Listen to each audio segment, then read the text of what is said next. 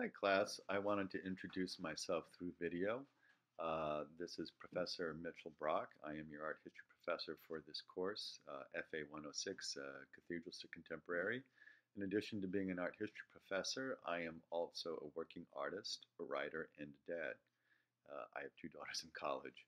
If you want to check out the kind of art that I do, uh, the link to my website is hoveybrock.com. That's H O V E Y B R O C K.com. And to answer my own uh, icebreaker questions, my favorite work of art is Akira Kurosawa's Seven Samurai.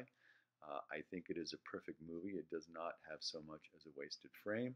And uh, the answer to the second question is what I would like my students to get out of this class is an increased curiosity about this very strange activity we call art, which I think on some level is related to the uh, deep human instinct for play.